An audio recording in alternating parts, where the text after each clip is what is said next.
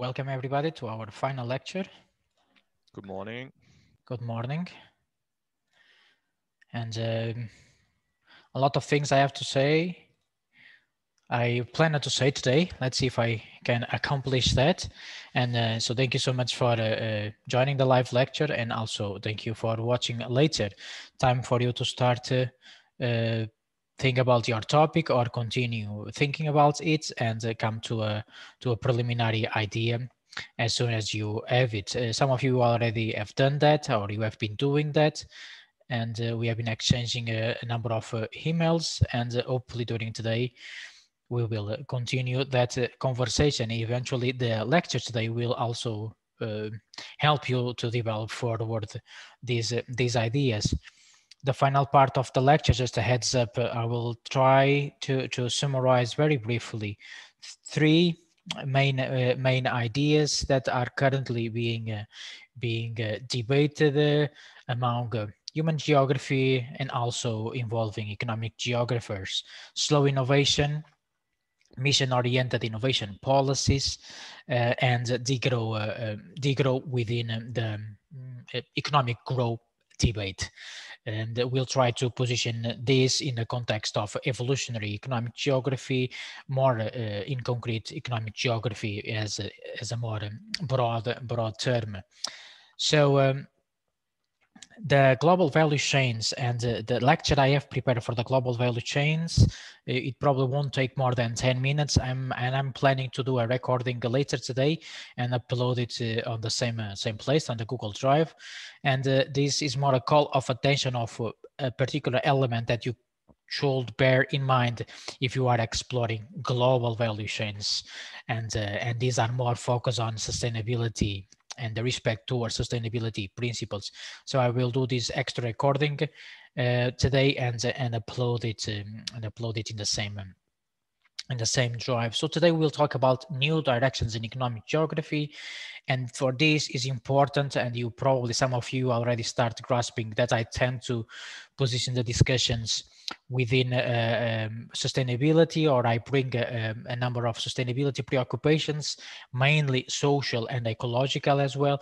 But all these discussions, the discussions from the past 10 lectures, uh, uh the discussions currently within economic geography at the present time, and uh, most of the projects that I, I am aware of, they have been receiving funding because they underline some of the grand societal challenges that we discuss in the second lecture, and they acknowledge the scientific evidence that we are stepping forward in the Anthropocene.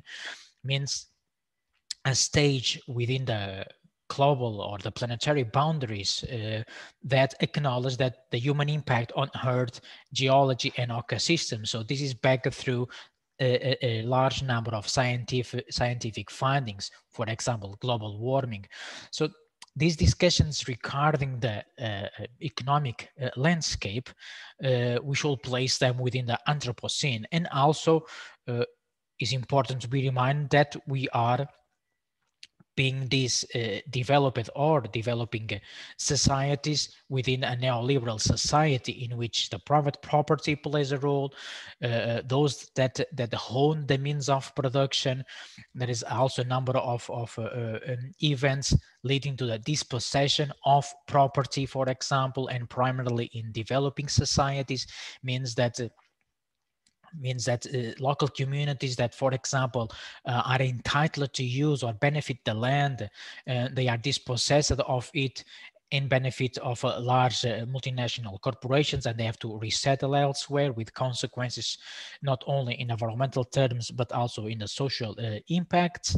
And and the labor force is often taken as a as a commodity and the production of commodities is with the purpose of of being being them being or seeing them placed in the market to uh, exchange uh, uh, a value uh, within these commodities not a direct exchange as used to be in the past. And and most of the activities they are profit oriented. Is uh, my assessment is that uh, in the current development of the society, uh, uh, the number of non, non-for-profit uh, um, activities are even are every day less and less, and even those that are called non-organizational, uh, uh, non non-government organizations, non-for-profit, they they also depend of a number of funding schemes and some of these funding schemes are sponsored by private entities. So there's a lot of power relations here to, to understand in this context. And we have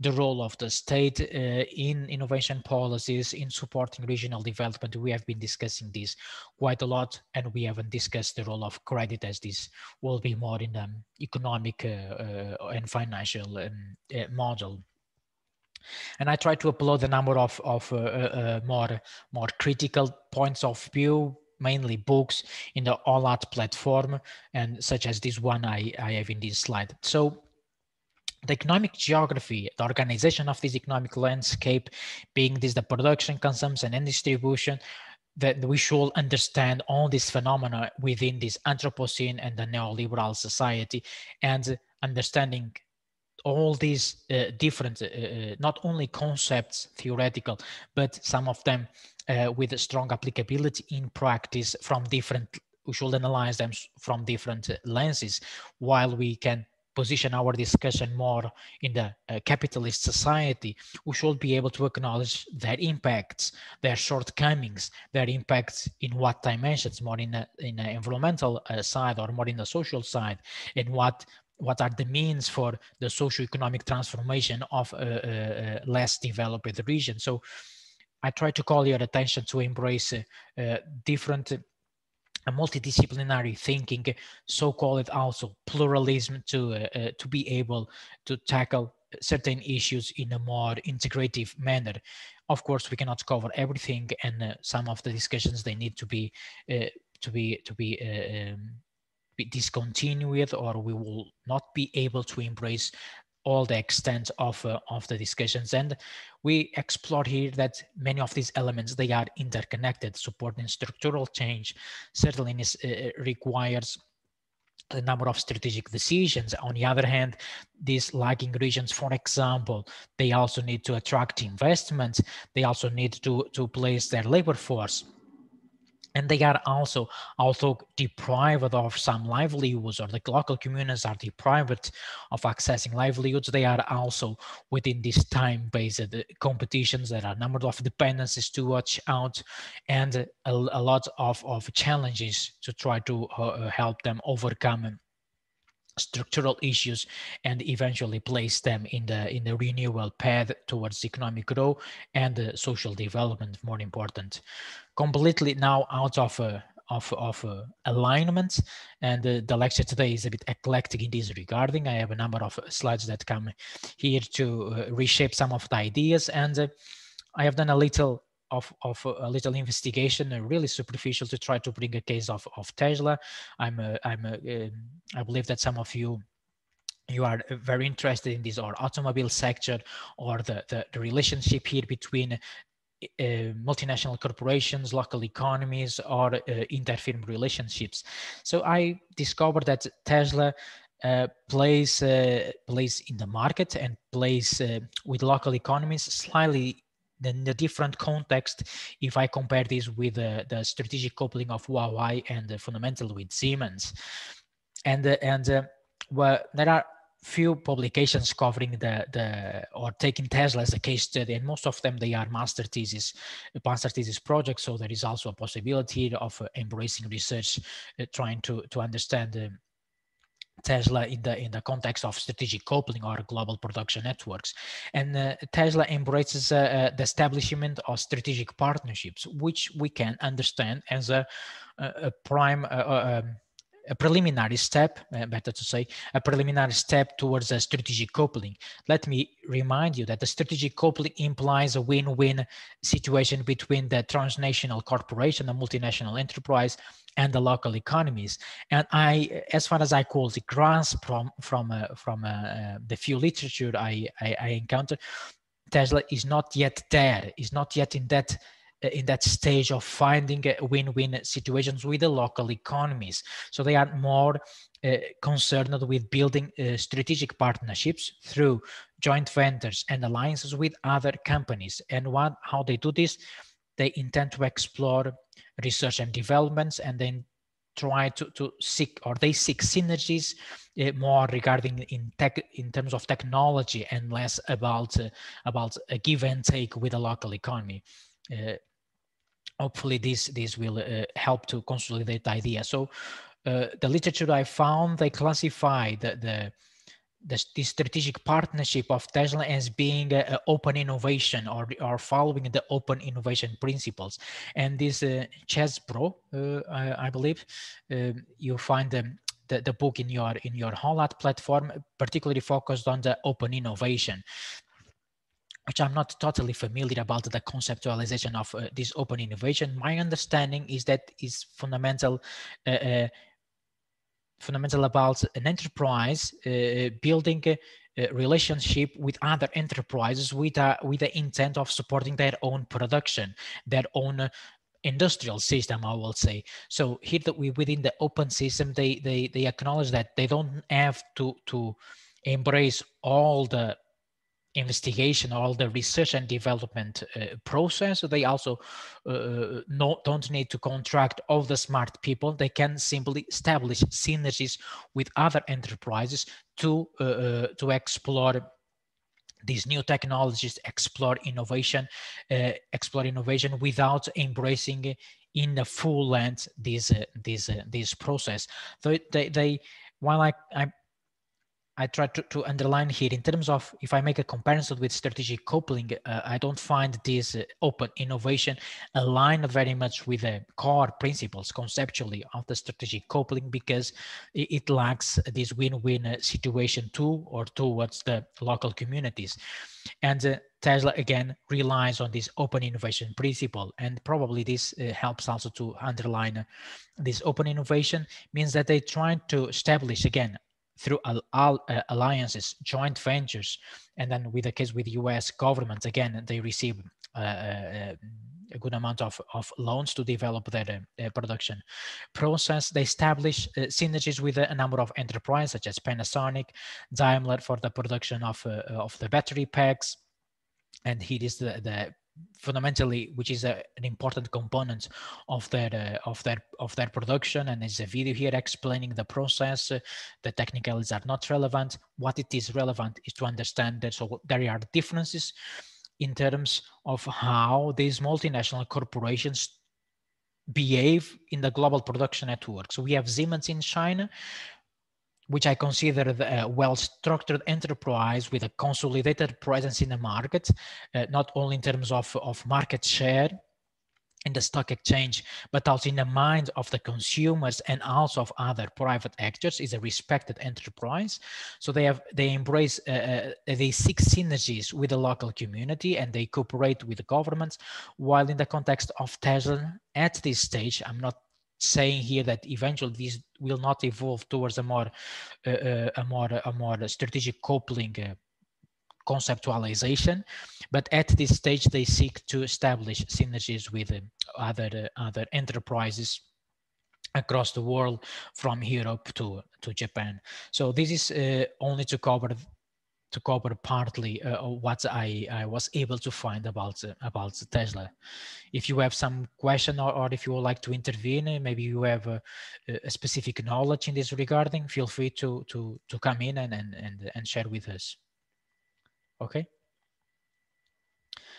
And um, and again, I'm recapping here the smart specialization strategy as we cut it short in the last lecture. And I will try also to, to, to be succinct at this level and try to point out in a schematic way the, the fundamentals of smart specialization strategy, again understood here as a regional innovation policy intended to support uh, uh, also uh, regional development in, um, in selected territories. Not all the territories within the European Union, not all member states embrace smart specialization strategy. They, they uh, at, at this moment, as far as my uh, memory helps, only 143 regions within the European Union have, uh, have been developing smart specialization strategies. And I am aware that uh, countries such as Portugal, they are currently preparing the new smart specialization strategy, which is already, in my point of view, based on what uh, I've been researching, already controversial. When we expect these strategies to last long, it still has to respect the political cycle or the financial cycle of the European Union. And uh, I, I just read some news yesterday that uh, they are now in the process of building a new smart specialization uh, strategy. So I'm not fully aware of the domains of these uh, forthcoming um, uh, strategies or what they intend to cover. Most likely they will align with the Green Deal that we superficially discussed earlier. The three pillars of the smart specialization here are the entrepreneurial discovery, this, this principle of finding a new new product, uh, to develop new commodity, new goods, or develop a new service, very much based or, or as a follow-up of already established products, goods, or services. So somehow is, is implementing some new engineering, new new production processes, and improving improving it uh, to some extent or by incorporating new technology for example. And then there is a step of entry entering the market or entry the industrial system for example which could eventually lead to agglomeration to agglomeration economies ultimately uh, and primarily to towards the formation of clusters. And uh, eventually uh, the ultimate goal uh, of a smart specialization strategy is to support the structural change in the regions where they embrace such a strategy, which is very difficult to measure. It's very difficult to grasp the true impacts of these smart specialization strategies, fundamentally when they, they the regions that embrace them uh, and you, let me underline again this is an ex ante conditionality. So for them to be able to apply for the european structural funds they need to develop such a strategy and not all the member states are entitled to apply for these structural funds because they are already in a different stage of economic growth compromises them to a certain patterns or, uh, to a certain patterns of development. Previously was inclusive sustainable and smart development. Eventually now these again are more aligned with the principles of the of the new green deal. But we can we can have this specialization this smart specialization without a specific policy.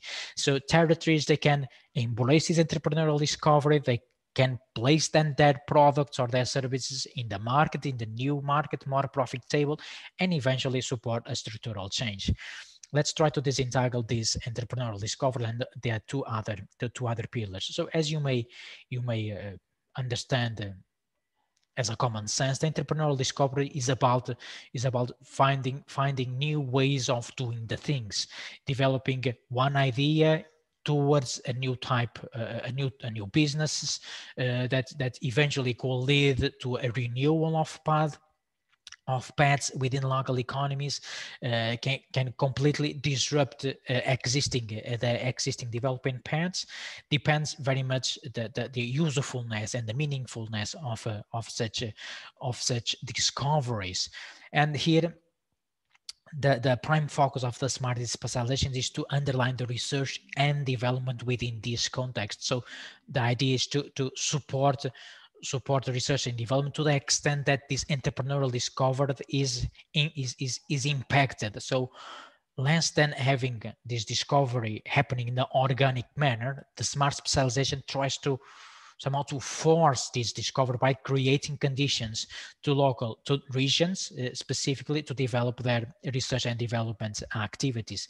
And ultimately again the goal is to to accelerate uh, innovation within uh, the within these territories.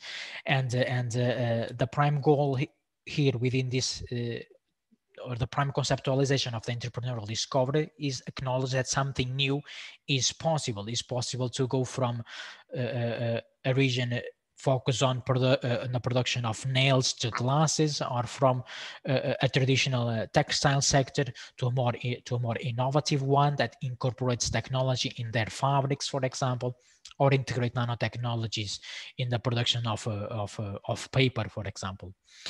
The challenge is to to to this entails some challenges, the entrepreneurial discovery. Not all the ideas will lead to new domains, to new business, to new paths. They also have to find to find a, a way to the market, to enter the market for the consumption or the industrial system, if they are part of the production. So the idea needs to find some usefulness. This this this uh, is important to, to to to attach a meaning to this uh, to this uh, to this uh, entrepreneurial idea. Otherwise, they won't be able to enter the market. Enter the market, and they can only enter the market when other uh, uh, firms. Um, other sectors, other research and development entities, for example, acknowledge their meaningfulness.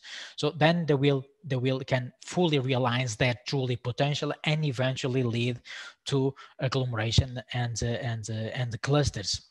This very much in a uh, I will say theoretical, although uh, in the the, the, the, one of the, the main documents supporting smart specialization are more policy oriented. Uh, uh, in practice is I will say that this is really challenging to to to understand to what extent, and also diff, very difficult to measure the extent uh, an idea uh, that we can place it within an entrepreneurial discovery goes uh, forward in the process, enters the market, and leads to to an agglomeration. Requires certainly a very in-depth, in-depth case study analysis and in-depth, in-depth research. And the ideal as a result of this discovery and this entry in the market can lead to to the to, to new windows of opportunity within these uh, local economies. So the ultimate goal is uh, having these uh, these innovative ideas uh, led by research and development centers supporting a structural change in these in these territories. And we discussed this at length earlier before. What I, what I want to underline here is that uh, within the literature of smart specialization, they consider four, mm, four uh, domains, four stances of uh, structural change, transition, modernization, diversification, and radical foundation. And again, I found also uh, complex to, to make a, a clear distinction uh, across these four for uh, domains, for avenues of structural change. Transition, probably one that is quite simple to, to, to, to disentangle here is when a new domain emerges from an existing industrial system the traditional textile, the traditional shoemaking, the traditional automobile that incorporates new technology, uh, tries to tries to incorporate uh, uh, electrical equipments, for example, uh, batteries, etc. So you may uh, be able to envisioning this kind of, of, of transition. So there is not there is not a complete disruption of the industrial process. That is the incorporation indeed of, uh, of technology, uh, but to some extent, or the labor force then that goes through some some kind of, of uh, uh, uh workshops to be able to to then to, to, to, to deal with these new technologies. There is not a complete disruption of the process. There is the incorporation of some improvements that can lead to the transitions. There's a number of cases across across Europe, from Germany to Southern Europe, for example, regarding the tech, the textile, but also within the uh, mining sector and the automobile sector as well. So that just try to to visualize and place yourself uh, some years back, find a traditional a traditional industrial activity, and understanding with this evolutionary perspective, having a time frame is important in this. When we are doing research in evolution economic geography, try then to understand the elements that uh, uh, led to this transition within a specific industrial sector. Maybe it impacts only a number of firms. Maybe in the process, a number of firms they they completely disappear from the market. Many others may eventually uh, emerge to support this transition. Uh, Another component, component is modernization, uh, where the introduction of new, for example, technology, uh, biotechnology, information communication technologies disrupts the more traditional processes and eventually lead to, to a more advantaged product or commodity or, or, or service. This happens frequently in the in the agribusiness sector by incorporating technology in the in the production of a of food, uh, for the protection of crops, uh, for the irrigation system, in incorporation of uh, of more uh, high tech high tech in the in the in the in support of the production but also happens in the large extent of the of the economic geography of the developed developed societies. It also happens within developing uh, developing countries and uh, my previous research helps me to to make the following comment that that there is also this this modernization of agriculture in in southern parts of Africa and in Latin America, but they are often uh, led by multinational corporations, and these often led also to to the what I mentioned in the beginning to the dispossession of. Um, of property, some of the local communities, because of uh, the, the, intensification of the agriculture, they have to be resettled uh, elsewhere without the without fair economic uh, compensation. So just imagine that they are dispossessed of their lands, they use that land to produce their own livelihoods, and then they will need to resettle elsewhere. And sometimes the land where they will be resettled is not fertile as in, as uh, in the in the in that uh, um, in their main in their mainland this also happens a lot across across Europe uh, in uh, in the fundamentally in the countries where the mechanization of agriculture is already somehow established and uh, steals a lot of room to develop it and incorporate technologies in the into the modernization of, uh, of the agriculture production. What I underline or what I intend to underline here that is important to keep in mind the drawbacks of this modernization. Indeed, the ultimate goal is support the structural change, support economic growth, ideally social development, but bear in mind the impacts on the ecosystems and also on the local communities in social in social terms. Eventually, also uh, with impacts on the on the on the labor market. And um, another, another, the 3.3, not the 3.2, the diversification, uh, which is also again difficult to to to make a clear distinction between modernization and diversification. Here, the diversification is is happens quite frequently in the, in all industrial areas of Europe, such as the Ruhr area in Germany, for example, where uh, companies try to find find a position that that that um, that production in a in new markets eventually more profitable and more attractive markets or they try to to develop alternative products that can can boost their own own positionality within this market. And often they do this uh, through uh, the lenses of um, constructing regional advantage uh, related variety. So they invest in in uh, in activities more related to their core uh, to their core uh, uh, business uh, model. So we have a postal services engaging with with banking services a number of cases in in switzerland germany belgium as well. We have banks now offering a, a, number of, of insurance schemes as well. We have a, a, sports center or gyms offering also more more alternative forms of uh, alternative means of of, uh, of of relaxation, for example, by providing different types of um, of a, of a group uh, group teaching etc so we just try to to to understand that, that this this this diversification often results or, or, or, results from branching out a core activity branching out a core business of a specific of a specific uh, corporation. They try to they try to to extend that influence uh, through offering new products or uh, or delivering new um, new service. And then we have the radical uh, radical foundation or, or uh, a radical a radical uh, uh, a radical structural change that that should be understood as a, a that the emergence of a completely new domain, a completely new business, probably not even even even even part of developing scenarios earlier. So emerge as the result.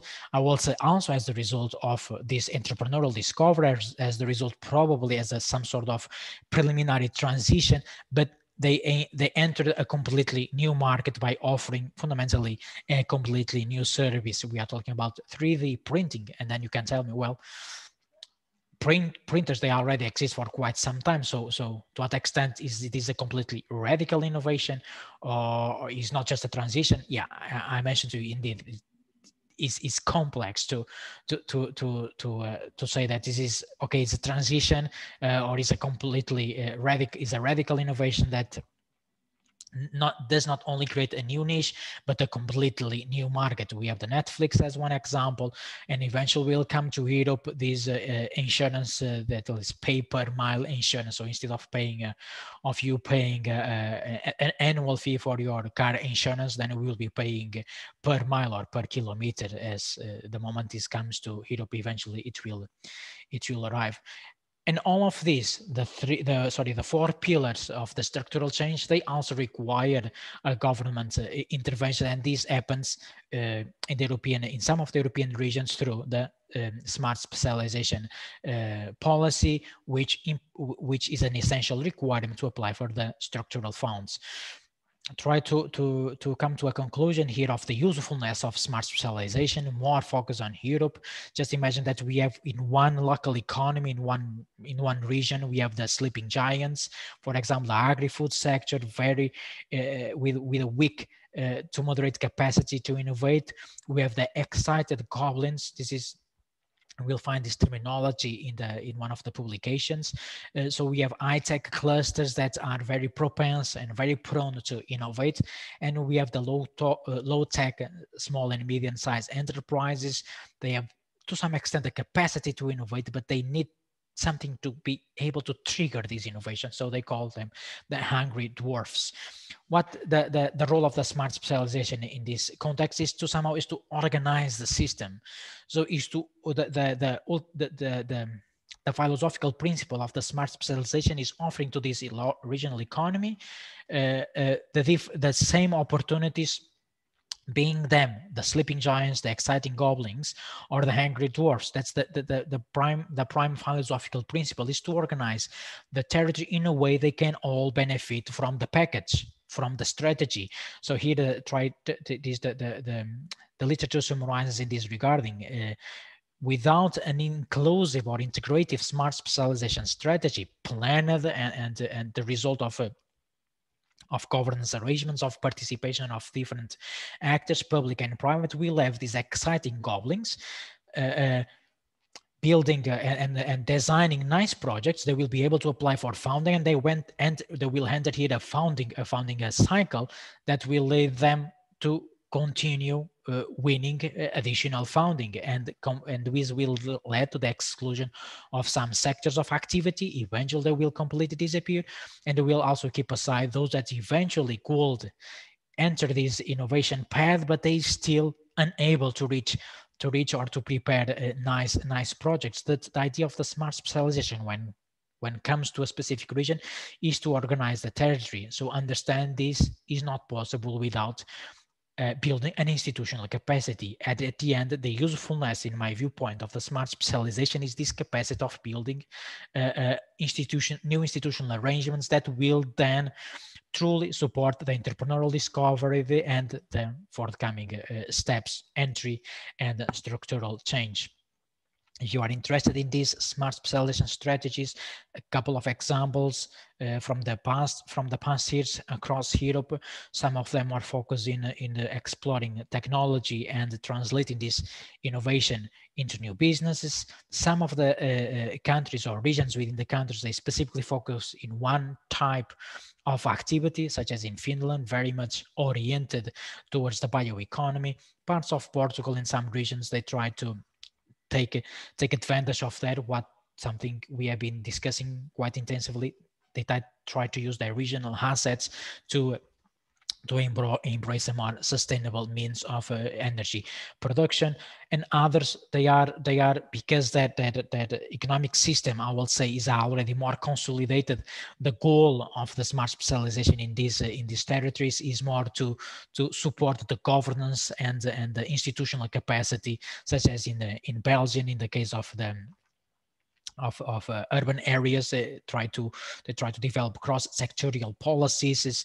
Uh, in netherlands they try to seek more participation of the citizens and in germany they try to foster decision making in a way that that they they um, and some sort of network they, they will be able the actors engaged will be able to apply for additional funding schemes. And um, this this uh, same same principle of having the smart specialization not directly focus on on supporting entrepreneurial discovery but more uh, in, in boosting the capacity that could eventually lead to this entrepreneurial discovery, a case in the region of Tuscany, where they used a smart specialization strategy to apply for specific funds with the intention of, of boosting collaboration and um, organizational capacity within, uh, within uh, the region of uh, Tuscany in Italy. Um, another example in Finland, completely uh, in a different in a different context, and also a very interesting. I found a, a, project. I don't know all the details, but the, the search is out there if you if this is interest to you. So these cities they came together uh, within the principles of smart specialization and developed a six city strategy. And the goal here is to make the data that they own, Helsinki, Espoo, Vantaa, Tampere, make the data they, they, they own available to the to the to the regional economy. In this case, will be different uh, different um, uh, urban uh, uh, urban based economies, making this data available so new business will be generated. And, and here again, uh, the the the I miss some of the specific details on how this really uh, developed or, or was implemented in practice. I, uh, I could grasp that, for example, they have access. So they, they make this data available to the point that they they uh, uh, transportation companies can uh, understand where the residents are located or where they will be located in future so they can start establishing uh, uh, transportation corridors for example or try to assess the cost effectiveness of developing a transportation line to a certain part of, of the city. So they make these they make uh, their data open uh, with the intention to to to to foster or to boost business activities within the domains of smart mobility, clean technology, and uh, and they take these uh, uh six cities as a as a as as a, as a lamps, uh, and uh, this is another another branch of the literature within planning. They take this as urban labs to experiment, experiment the potentials of new activities. And the, the experimentation is fundamental in the in today's economic geography. You will hear if you if you explore this mission-oriented, slow innovation and and digital, that experimentation is fundamental to understand what works better and what uh, works less less effective. And uh, some of the critics towards smart specialization, they acknowledge or they call that they need to incorporate more uh, uh, a capacity to deal with foreign direct investment. That that some of these uh, territories, on one hand, they try to boost their regional assets through the smart specialization, but at some point they also attract, they intend to attract foreign direct investment, and the smart specialization strategy at the current times uh, uh, is not fully able to deal with these uh, with these dynamics or the dynamics created by the global value chains or these direct uh, dynamics of attracting investments and um, and workforce. And also some of the critics pointed out that uh, uh, there is a strong preoccupation from the European Union to design uh, nicely and, and, and align with the principles smart specialization strategies, but they, they, they lack mechanisms to truly follow up after the design. They, they, they lack mechanisms to, to assess the truly implementation of a smart specialization uh, strategy at the ground. And you see very similar documents across, across Europe, uh, documents, uh, similar strategies, and that, that that assessing that implementation and their effectiveness in practice is uh, much more challenging. And um, other also part of the challenges uh, uh, how to overcome some of these challenges to boost to boost mechanisms uh, uh, that could support the implementation and to acknowledge that some of the regional dynamics in economic and social terms that occur within these European territories, they are impacted by by dimensions that are not acknowledged within a smart specialization strategy, such as trust, responsibility, social relationships that exist between uh, between actors, between private actors in one region that could uh, uh that that could support this entrepreneurial discovery without the need to follow through a specific smart specialization strategy. So are, there are a number of factors hinder the implementation of, of the smart specialization strategy. And some authors pointed out that the way to do to overcome these shortcomings is through a multi-scalar coordination, while others acknowledge for this to happen, for this multi-scalar coordination to happen, that the smart specialization strategy should become a more flexible uh, instrument uh, uh, to to to, um, to to allow a more a more to allow some some more dynamics and uh, acknowledge the social elements that impact the organization of the uh, innovation process within um, the regions. And um, then i conclude the part. And uh, before we still have a, a, good a good amount of time to to explore the new directions in economic geography that I I planned today. Do you have uh, any questions regarding the previous slides? And uh, sorry if they sound uh, uh, uh partly superficial, but the literature, if you are interested in uh, type of strategies, will help you to to grasp more in detail the concepts that we explored here.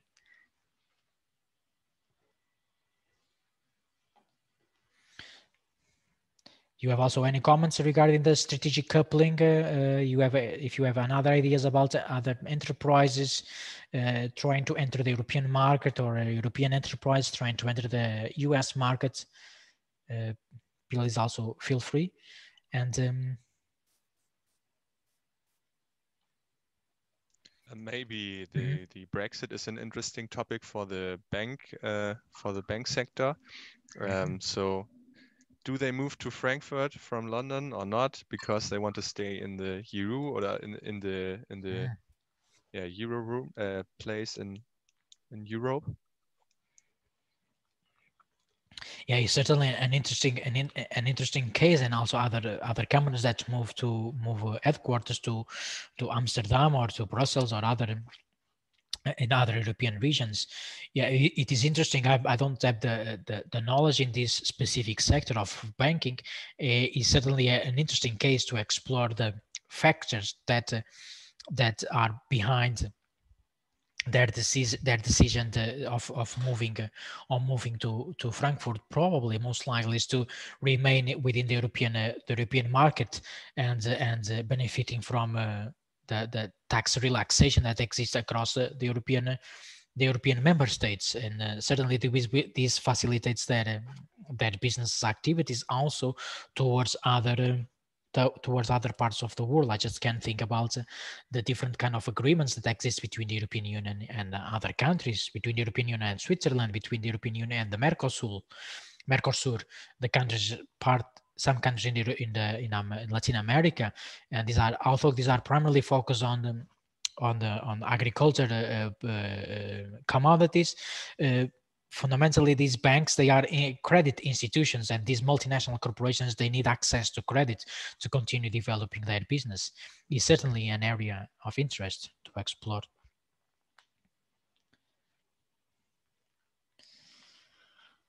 All right, then uh, we will carry on uh, to the new directions in economic uh, in economic geography, and I'm starting with the slow innovation. So here I shared the um, then we after this we can uh, do a break after the slow innovation. I, I, these are the concepts that I found quite interesting and the concepts that uh, were the literature remains short. So, so instead of I could simply explore topics that then uh, topics that if you go on Google Scholar, you find tons of, of publications. But these are the topics that still a lot of research uh, can still be done. There are a number of gaps trying to explore or slow innovation, the mission-oriented uh, policies and degrowth within the, the organization of the economic landscape. Uh, there are still a number of gaps that can be can be explored. The principle of the slow innovation, and uh, I pointed out here two important uh, um, uh, references. First, there is one line of reason that acknowledge that the speed is fundamental to with for innovation to occur. So that that's doing the things fast and responding to the to, to the market and sometimes to responding to to uh, marketing companies and that that that conduct market research market research uh, summarizing the, the, the the needs of consumers. That there is one strand of reasoning that suggests that doing fast is important to to continue triggering innovation. The slow innovation process comes against this uh, uh this this uh, uh, the need for speed within innovation. By acknowledge that slow processes uh, not necess- not not responding to, to the market in an immediate ground and taking more time to develop it to, to go from one idea to the potential applicability for a product or services also uh, generates benefits to the local economies. And the, the, the, the, advocates of social innovation acknowledge that more than speed, the society needs room for exploration, for experimenting what works better in comparison to, to, to uh, what works better in the context of scarcity of resources, which is a fundamental uh, domain when we are talking about uh, slow innovation. So, so they call for reflection, a learning process before advancing to, to to, the incorporation of, of one idea into the production system. So underlines more uh, more more a slowness a slowness and the advantage of being slow the advantage of of taking the time to experiment and really understanding the advantage of a specific of a specific idea. And as you may understand this has a more beneficial impacts in terms of sustainability more in ecological more in ecological terms but also in a social in a social dimension because slow innovation relies quite uh, heavily on the social relationships that that could uh, support this slowness within the innovational uh, process and uh, and uh, that that again that those that that support or are more focused on understanding the potential of slow innovation again one line of reasoning uh, uh, suggests that what the society needs is innovation that is good for the planet and for people. Of course i'm not telling that this is this is, is well on one hand this does not sound totally utopic. There there is room for, for, for innovation to be good for the planet and people, but it's important again to balance the um, the pros and cons of uh, of, uh, of such a process. And they suggest that this um, quick fix and sometimes it's this eat and run innovation to just simply to respond to the market need or one size fits all. They are uh, uh, out of the context, out of the current context, and out of the real needs of the society that we need we need a better understanding of of uh, of the, the the the resources that exist and can be employed to support such uh, such an innovation. And I suggest that uh, that more than than than having this innovation as forcing new uh, uh forcing the, the the the development, the design of new products or the establishment of new services, they should work or innovation processes. As the result of research and development, they should work more as a, a guiding principles that eventually will lead to to uh, to uh, to uh, new means um, of production. And um, new means of production but taking as a as a guidelines as as as a some as a starting point not as a hand point not having innovation process as the hand point within uh, within the process.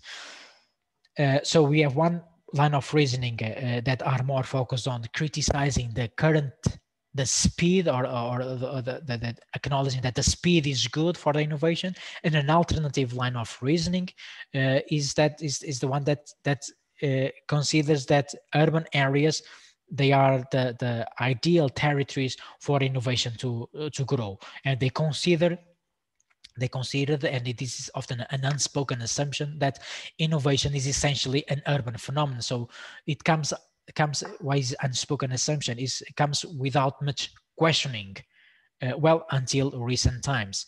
Now uh, uh as as we researchers also need to embrace different types of domain, domains and doing our research uh, doing conducting research that is timely this this this assumption is currently being criticized as well innovation can also occur uh, uh, outside of urban areas so innovation unfolds also in the peripheral territories. This goes against the creative city. Eventually, we're aware of this terminology by Richard Florida, very well known, that innovation goes against this idea that innovation or idea or assumption that innovation is is is is uh, is uh, can only be possible within large metropolitan areas because of the uh, um, soft and hard infrastructures that exist and also goes against that that uh, the patents and new products. They are uh, uh, they are mainly introduced in large cities. So a number of critics now come come to to to place their findings against this assumption that innovation is essentially an urban phenomenon so most of these critics, and I pointed out here a number of them, and I particularly like the work of uh, of uh, Heike Mayer in um, in Bern, Switzerland, uh, and uh, she she's currently developing slow innovation in uh, small and medium-sized enterprises, and underlines that innovation also occurs in known urban geographies, and they also they also are, are responsible for some innovations and they eventually they have all the potentials to be to be considered as a as a as a territories that also matter. You will come across in the literature uh, uh, the definition of of, uh, uh of, not only lagging regions, and they consider these lagging regions at places that they that they don't matter. They don't matter in the current context of the neoliberal society. This number of researchers they come to criticize this uh, stand this line of reasoning by suggesting that innovation also occurs in peripheral territories. They also have the capacity to innovate certainly in different domains in comparison to large metropolitan areas, but they do also have the capacity and the, and the means to uh, innovate within a plethora of, uh, of activities. They are not particularly well connected, but they benefit from some for they benefit from some uh, the, from some factors such as the social networks that can boost uh, innovation and entrepreneurial discovery as well and uh, some explanations explanations uh, for, for for this innovation in the in the peripheral region. So they primarily take take advantage of the social and network proximity, not necessarily the the proximity between between other multinationals enterprises that are often located in um, in large in large in large metropolitan areas, but they take advantage of small uh, in a more constructive and organic manner, manner, not necessarily as a response, as, as, as a force, but they, they, they try to, to build on local knowledge, build on local knowledge to explore eventually uh, innovative ideas. And often this uh, uh, occurs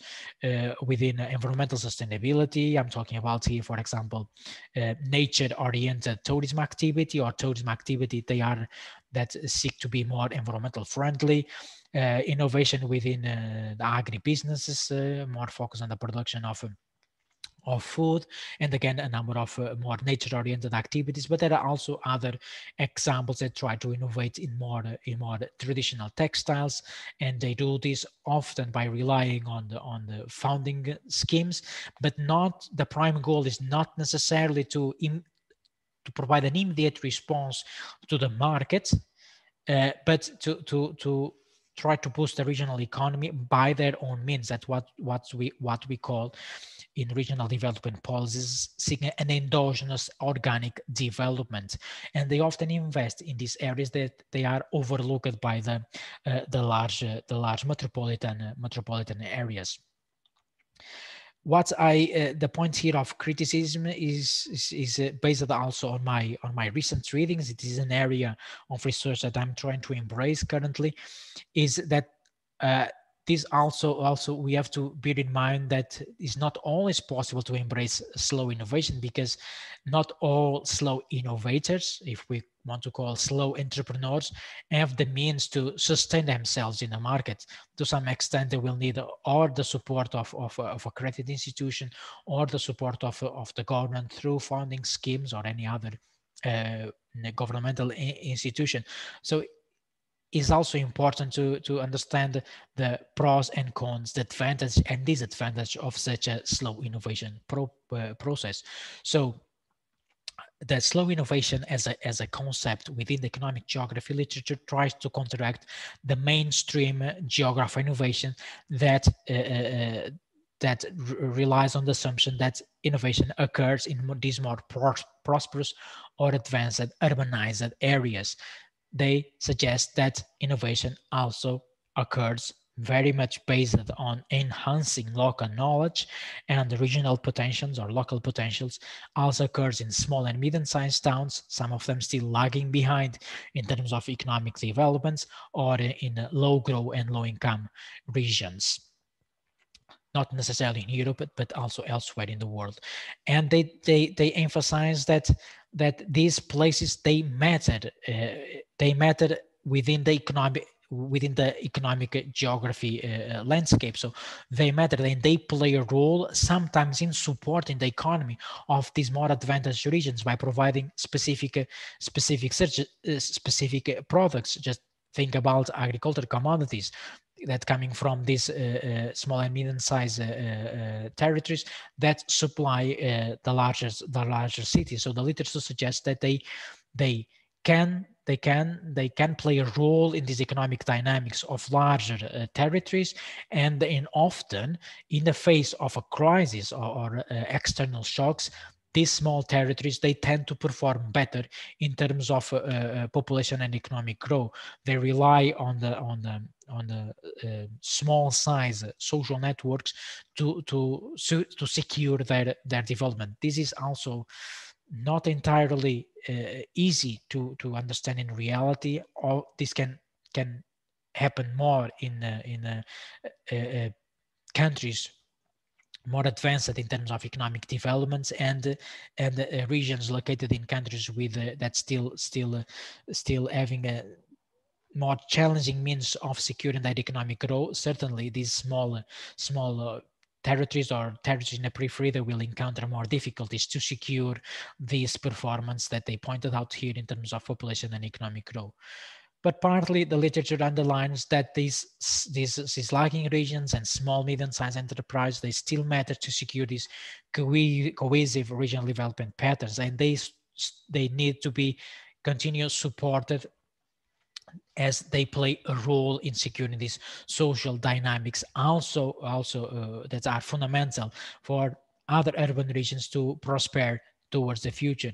And they also call to uh, because some of these lagging regions are located in um, in southern parts of Europe, for example, is important if we are doing conducting research in this domain to pay attention to the uh, to the research that is uh, currently being developed there, know in a, and published often in a non-English academic journal. So this is another domain that uh, economic geographers, geographers and human geographers are concerned is about paying attention to uh, known English literature and the extent they provide important findings to understand these dynamics uh, involving lagging behind regions. And um, again, stepping a, li a little bit outside of these lagging behind regions and small and medium-sized enterprises, and this aligned with with concepts that we had been discussing. We discussed earlier the governance and uh, and align also with concepts within evolution economic geography. They rely on their local values. They pay attention to their local history and culture, and they tend to value these to support their economic activity. They embrace a more community-based economic development, uh, and they rely a lot on their uh, grassroots, and they seek the development of more sustainable oriented activities. This in terms of uh, uh, an overarching conceptualization, trying to bring here the contradiction between the fast innovators that they try to to respond again, respond to the market in the in the in the in the fast and forward uh, manner. We have the example of of the fast uh, fast uh, um, fast fashion, and so they try these fast innovators. They try to respond to the calls from the market, uh, the calls from the consumers, and often they respond to trends. As you may uh, uh, understand this as, as as is part of of the current society, they try to respond to buzzwords or to trends and so they rely in knowledge that that uh, very quickly will disappear. While the so the slow innovators they rely on the so-called slow decay information and knowledge uh, information and knowledge that tends to last longer in the market. So the core preoccupation is not to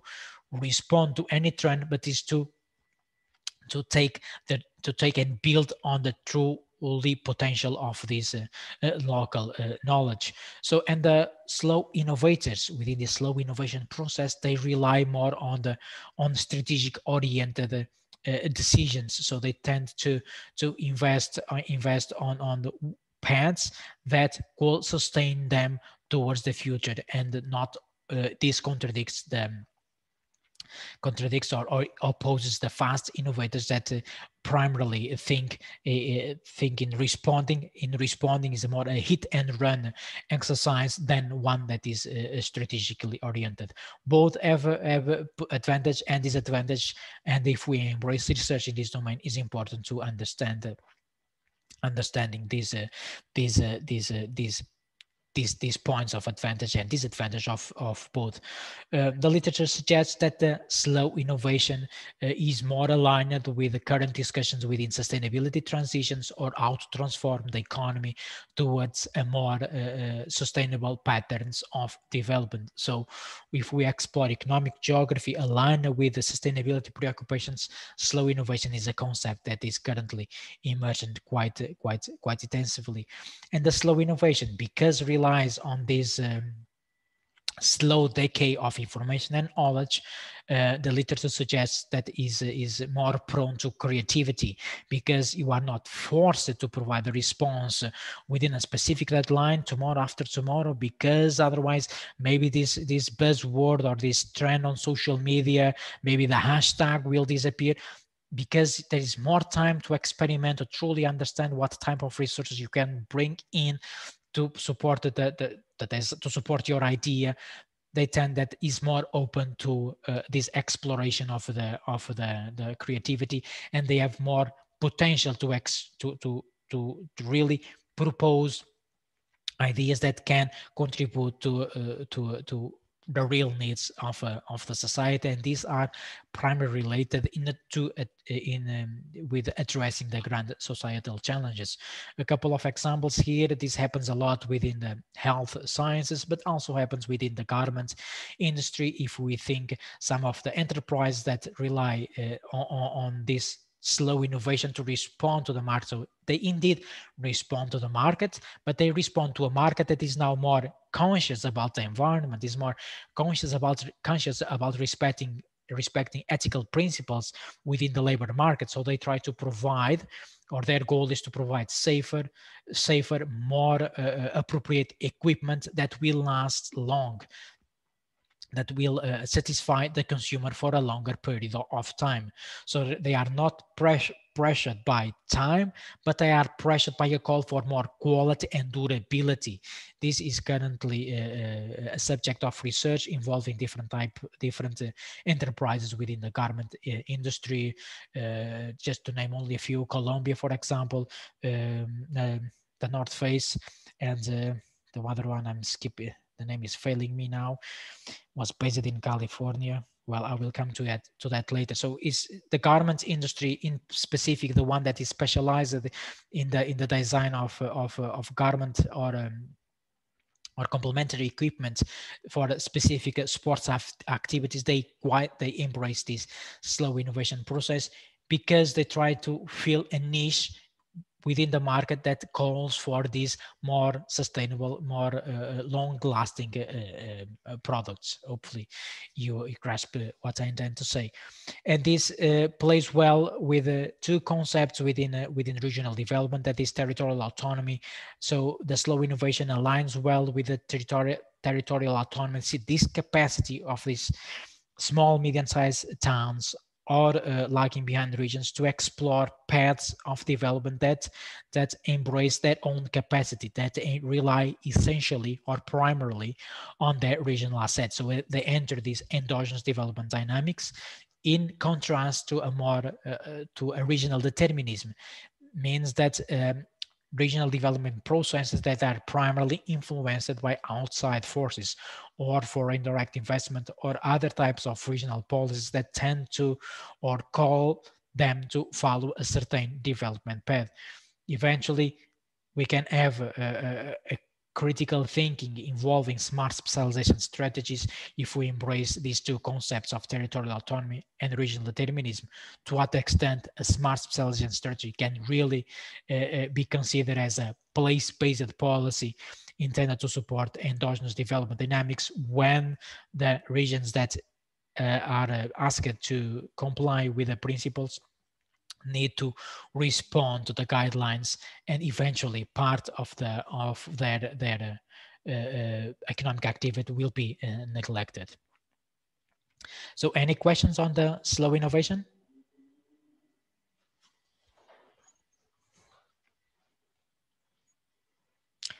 All right then, then feel free to to drop uh, drop uh, some question later if you have it, and then um, we'll uh, go through the mission-oriented uh, innovation parts. Do you feel like uh, making a break here, a short break, or uh, shall I carry on?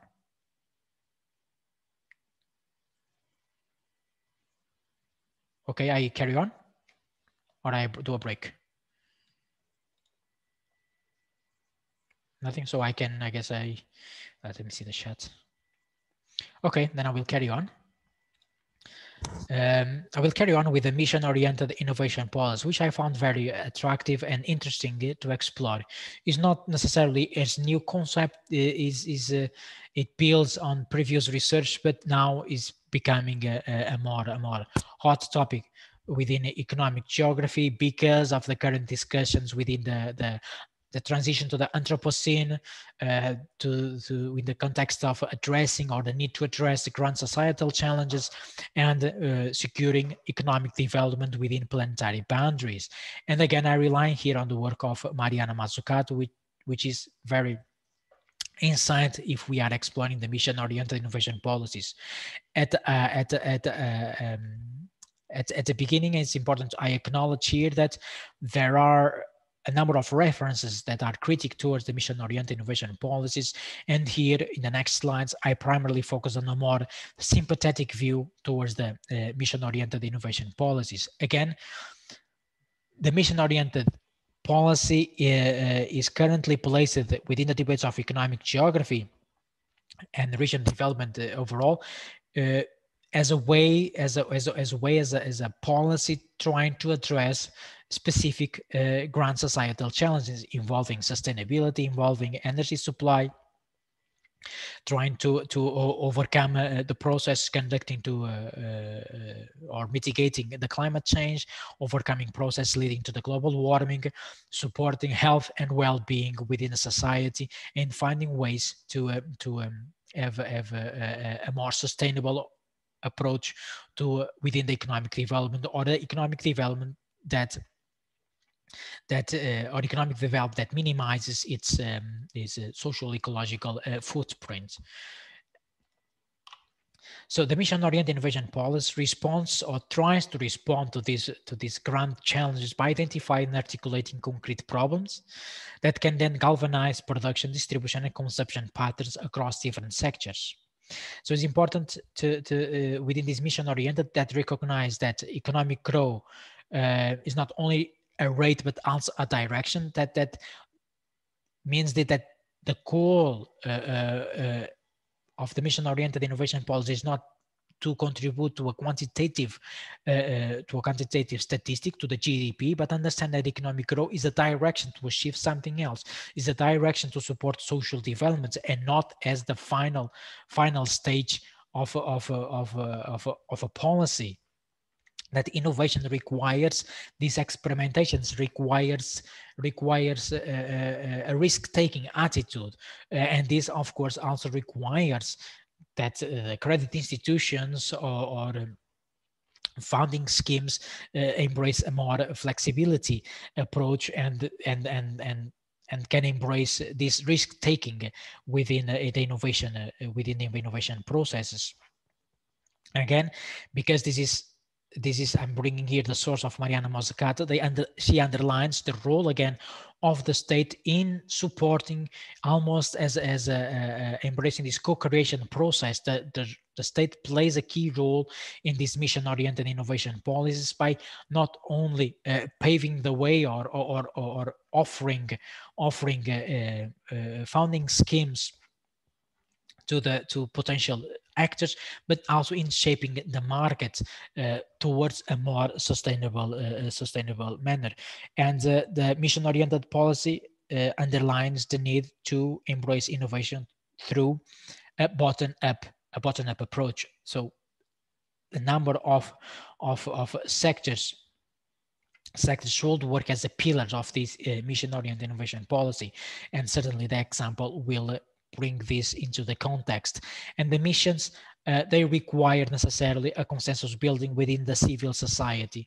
They require the consensus involving public and private uh, public and private actors. So this is this is fundamental. As I said, the mission-oriented uh, policy is not something new it exists in the past and currently is gaining a different is being reshaped reshaped by a number of researchers coming from different uh, different uh, philo, uh, embracing different philosophical principles and also from different disciplines one of the examples that mariana mazzucato points out is the mission of placing the man at, uh, uh, in the moon, the Apollo mission, as the, prime example of a mission-oriented uh, innovation policy. A number of activities developed to support this mission: aeronautics, robotics, text, textiles, nutrition. So, so the the the to fulfill this mission, a number of innovations they were they were forced to occur so that the mission could take shape.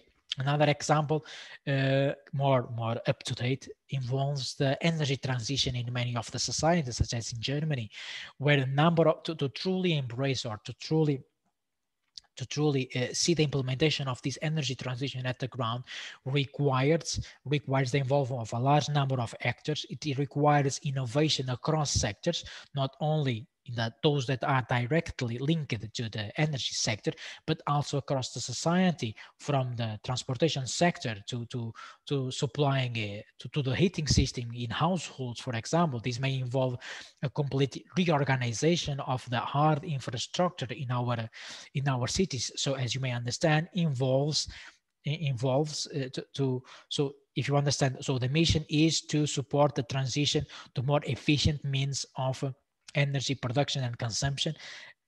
To achieve this mission is necessary. First is a long-term process.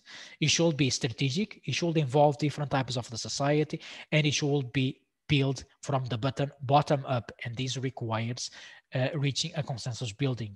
Again uh, it's important to embrace here both both sides the positive and the negative and the negative i mean more the more critical. Yes this is nice to say and nice to place it here in the slides or in the or in the in the in the written form but it's important to well to truly have uh, a higher engagement across uh, across actors is is is definitely very challenging. I see this mission oriented um, being able to take shape in practice in countries with already a consolidated practice in terms of bottom-up development, uh, such as in the Nordic countries, parts of Central Europe as well, and at a small at a small scale. I, I see less capacity or less potential in the mission-oriented policies at the national level. See, this certainly will require years of preparation off the ground. Off the ground, anyway, we have uh, and these energy strategies at the national level in Norway, in Germany, in the Netherlands, and uh, and um, the ultimate goal of the mission is to support this energy uh, transition. So the mission, uh, the, the meaning of this slide here is that this mission oriented to some extent here plays well with with uh, with the concept of uh, of slow innovation. It relies relies on exploring carefully the ways, uh, the different ways uh, what is really needed. So a specific objective can be achieved being this energy transition or any other. Requires also a lot of experimentation from the bottom up again from from the from the pillars of the society. And is more they suggest that is more because it implies doing the things in a more uh, in in in uh, in the in a more passive, somehow in a more passive manner, but with a specific goal in mind, it opens up uh, space for serendipity, for the something to occur without necessarily being looking uh, looking for for it. Partly of the literature suggests suggests that this can occur. Other others suggest that the mission oriented uh, requires also this engagement of uh, institutions to really in a way that that that can keep all the actors on track to really reach that specific objective to to to accomplish that mission in the end. Just imagine that this is about accomplishing a specific a specific match a specific mission uh, in in yeah, in different in different in different contexts. So the mission oriented is not necessarily about throwing funds but but providing the means of doing uh, of doing the things in a specific way in a way that leads to the accomplishment of this mission. A number of examples in germany here uh, uh in the in the in this in this specific um, in specific reference. And we can understand partly of these uh, new trends within economic geography uh, green economy green jobs jobs oriented to to um, to the youth, for example, this this this uh, concept of circular economy, concept slash slash uh, policy process supporting the circular economy as being uh, part of these mission-oriented policies that they, they, they can be defined as a, a, systematic public policy that draw on frontier knowledge to attain specific goals. So relies on the on the on information and knowledge, embraces a more embraces experimentalism and slow innovation with the goal of, of reaching um, with a with a prime aim of, of accomplishing specific uh, specific objectives. And uh, and we have these these the green economy try to to to lead the economy to a more uh, environmental friendly uh, or reduce the footprint of economic activities um, try uh, green jobs or jobs targeting the youth to counteract the grand challenge of the aging population for example. So that is always a, a, a the, the the the innovation policy that, that will be supported through a mission-oriented policy. The aim is to counteract counteract a challenge, a, a challenge that exists in the in the in the society. Okay, is that's that this can can occur in different in different in different manners. Uh, the, the the the literature points out that uh, the what the elements that are fundamental for a mission to to to take shape to take shape in uh, in reality at the ground. They have they have to be well defined uh, and certainly if they are not well defined they will probably uh, won't be able to succeed in implementing their principles. They they should focus on on on creating not not only a, a specific a specific innovation or they should not uh, in, invest in one specific research and development area but they should embrace a more portfolio approach. So entails a number a number of projects should be developed so that the can the mission can be um, uh, accomplished. And also implies again investments across different sectors. What the literature suggests at this reaching a green economy supporting circular economy won't be uh, possible without the support of different sectors of the uh, of the society. And of course this also requires the commitment of different type of, of actors and also the, commi the commitment of policymakers. Is necessary to build the ground so that the, the all these projects that eventually will be developed to sustain to support the mission oriented need to find their ground, need to find the political support, and need to find the uh, support within uh, the private sector as well, and also within the society. The society also needs to understand that the way forward is to embrace that, that is to embrace more uh, to embrace clean energy uh, means so is, is this as you may imagine takes is is is over is is an overarching strategy it requires uh, it requires a long-term process to um, to be implemented in practice. It also implies a culture of, of experimentation and risk taking very much associated with a slow innovation process and think out of the box. Very easy to say, very difficult to apply in practice. What truly means thinking outside of the box. And Mazzucato provides the example of, uh, uh, of addressing the sustainable development development goals. And uh, she proposes this this uh, emission oriented framework where where different different projects they have their own submission i will call it but all together they will then uh, uh help uh, the completion of the full the full mission. In this case, will be the operationalization of the Sustainable Development Goals. But as I mentioned too in the second lecture, there are trade-offs and synergies. The development, the the applicability or operationalization of one goal can lead to trade-offs, to negative impacts in other goals. So it's important to understand the trade-offs and how to transform these trade-offs into synergies.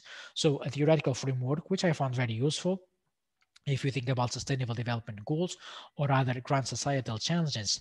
And, uh, and uh, the example provided here is uh, the accomplishment or the personalization of the sustainable development goal number 14, life below water, and how to, uh, for example, uh, uh, move towards a plastic-free ocean. So let's understand that the, the final mission here of the Sustainable Development Goal 14 is, is as a plastic-free ocean. So this requires a number of innovations requires uh, uh, research and development specifically focus on achieving uh, on achieving this mission this won't be uh, this won't be possible without the support of different sectors without the support of policymakers and without the support of the civil society as as well. And uh, again we are not talking about the mission oriented it's not about a, a, linear line of development in which we have a starting point and a goal that is a plastic free ocean. There are a number of sub projects or sub missions that are fundamental to reach the final goal. And the diagram specifically summarizes this, uh, all what I've been uh, telling here before. Let's see if I can go through this. So to truly reach, reach the final mission, a clean oceans, the plastic-free ocean, is necessary to involve the chemistry sector, uh, artificial intelligence technology, social innovation processes. This implies boosting uh, the consciousness uh, and the, the, attitude of, uh, of ourselves, citizens, and as a consumers. It implies the design or, or, or reformulating the, the design of products. It implies probably changing uh, uh, waste management policies within our cities and regions. And this won't be possible to be achieved without developing specific projects that altogether per se independently they won't be able to to have any effective uh, um, then practical effect at the ground but then taken all together and if built based on button-up solutions they then they will certainly pave the way to reach to accomplish to accomplish the mission that is to uh, reach a clean ocean. So a mission oriented implies a well a well defined the target measurable and time bound time bound goals the measurement is important. So you can measure the, the, the production of plastic uh, within a specific uh, within a specific city, for example. This is possible to measure because then they collect the plastic through different means and they place this plastic elsewhere. So this is something that can be quantified. And quantify is important to understand if the mission is being accomplished or, or not. or not. And the mission oriented implies that that this mission is of social relevance. It also is also important to involve the private sector, but in a way they can also fulfill their business expectations. Needs to be ambitious, eh, but simultaneously realistic, and sometimes this is difficult. It is a difficult trade-off it's not always possible to to to have to be ambitious and and be realistic at the same time or develop solutions that really can be applied in practice and implies uh, also a cross-disciplinary uh, innovation process involving different domains of, uh, of the society. So this is the, the mission-oriented, which is uh, gaining ground in terms of research in economic geography, and uh, and I find uh, and I find it with with an interesting potential to explore to explore uh, the organization of the economic uh, landscape with the core preoccupation of uh, um, minimizing the environmental footprint of the economic activities. Any question on this, on this mission-oriented policy?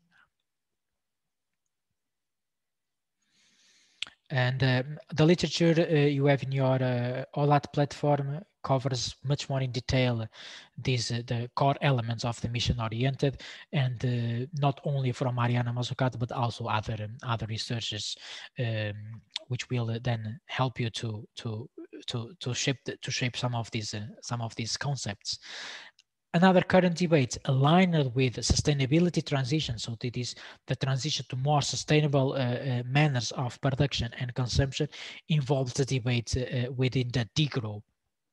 And the degrowth is also, uh, although is, is uh, is gaining again is similar to the mission oriented is is uh, gaining track within economic geography research. Is not necessarily a new concept. And emerge within the society as a social movement uh, with a prime goal of fighting against the the the more capitalized, the neoliberal development system of the society. So puts at the, uh, at, at the, cause, the core center of the growth are social and environmental preoccupations, the need or the desire to, to build social environmental uh, more social and environmental futures futures and finds the degrowth finds it finds its roots in the more in the in the in the act activist activist movements activist movements and also more more critical uh, points of view within uh, within uh, scientific within scientific research. And the part of the literature uh, underlines that the degrowth is uh, uh, is is, is a possible way to repro politicize debates about social economic development. So part of the literature uh, uh, within within the economic development uh, places the economic forces more at more more at the within the market sphere from the side of private actors where the uh, public domain the political sphere should not play any role we have been discussing that Although in this context of a neoliberal society, many of the profit-oriented activities that exist in the US and Europe and elsewhere, they uh, benefit from a number of interventions from the public sector, directly or indirectly, through funding or through the, the inv investment in infrastructures, yet the decisions are mainly uh, dominated by uh, uh incumbent interests or are dominated by the private sector. Those advocates from the degrowth suggest that is important to bring back to the political sphere the decisions the, the core decisions about the economic development within society. Otherwise won't be possible to develop the to develop the, the the planet within the planetary boundaries by respecting by respecting the social and eco, uh, the social ecological systems that that sustain the life on earth.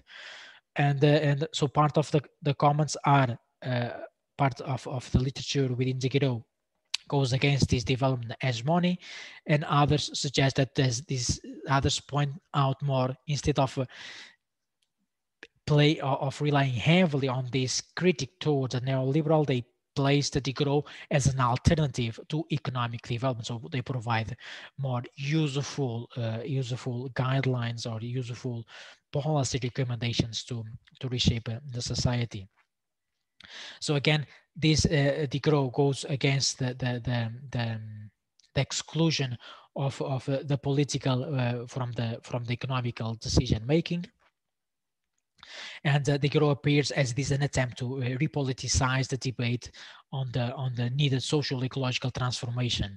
And it underlines the disagreement with current trends of development and tries to provide uh, the uh, new alternatives.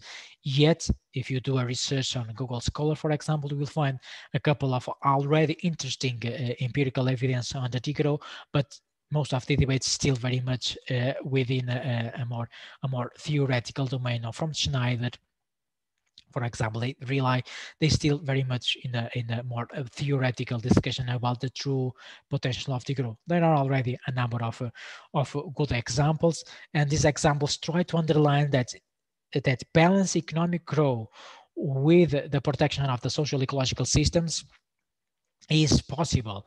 Uh, they still lacking in my point of view, lacking the true means of achieving this base degrowth is, is still is still unclear to me and for, for many other researchers as well how to to to to balance this this economic growth the need to to offer uh, jobs to the population or to secure economic development and at the, at the same time uh, uh, reach the ecological ecological goals. So the prime principle of the degrowth is based on this decoupling process between the environment and the economic growth uh, and suggests that both can still prosper in a balance in a more balanced manner and the development of economic growth should not uh, degrade the ecological ecological systems and the preservation of the ecological system should not compromise the economic development. Reaching this in practice it's still uh, it's still rather complex. So this is one of the streams of the degrowth research focus on environmental principles.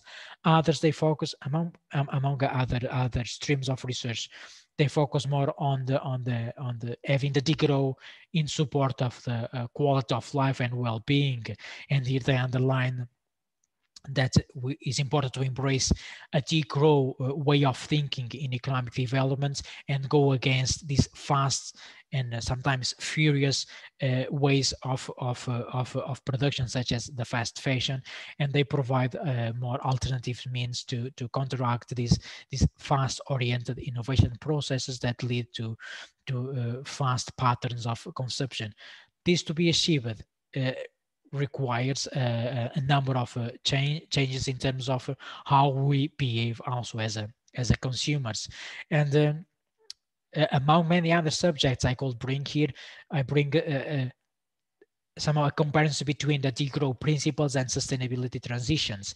That's this, this, this, uh, the, the, okay, we have, I have been discussing a number of concepts that support the sustainability transitions, how to embrace uh, economic growth in a more sustainable man, manner, social, economic, and environmental.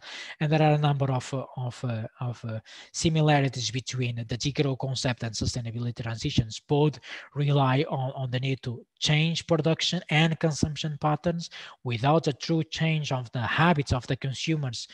We won't be able to, to, uh, to, to move from a fast a fast uh, society to a more slow, uh, slow uh, development that relies heavily on local knowledge and fulfilling specific needs at a, at a given time, not to place the products in the market just to to to fulfill to fulfill some trend. So that fitting the production to the consumption is a, certainly a necessary a necessary way to move towards degrowth and then embrace a sustainability transitions. So they both require a, a judgment uh, of the products of the service and of the systems. It is important that consumers understand the benefits and the and the disadvantage of of uh, of consuming a specific product, understanding the disadvantage or, or, the truly impacts, for example, of consuming meat that lead to deforestation in in some parts of the country.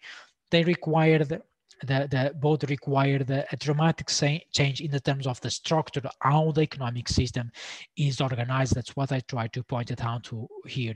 Both embracing degrowth and embracing sustainability transitions implies a serious structural change that goes across sectors and grows uh, and goes uh, across across different uh, levels of governance national regional local public and private and semi-public and semi-private and also involves needs to involve the society because without changing consumption pattern patterns uh, changing production without changing the consumption patterns that that won't be uh, realistic. So and both they rely on using this technology and using the innovation to fulfill societal functions to fulfill specific needs and not simply to respond to the calls of the market. And um, this is uh, basically the new directions in economic geography. I've been discussing them. They underline this localism and the regionalism of supply chains. They underline the ways of doing production, consumption, and distribution in a more sustainable manner. And uh, within ideal, within a planetary within respecting the planetary boundaries. And I underline here this time for you to start crafting your uh, research topic for your essay. And uh, you know that I'm here to support you the best, the best I can in German or in English. So uh, sorry that I already two minutes pass after the hour. I would like to say uh, I have enjoyed these 11 lectures. It has been a, a very fruitful uh, module and uh, I apologize for some uh, some uh, lack of clarity in one or another concept. And I hope you also have enjoyed and find it enriching experience for your learning process. I wish you all the best and we stay in touch and feel free to to drop any comments at any stage uh, today and tomorrow. Thank you.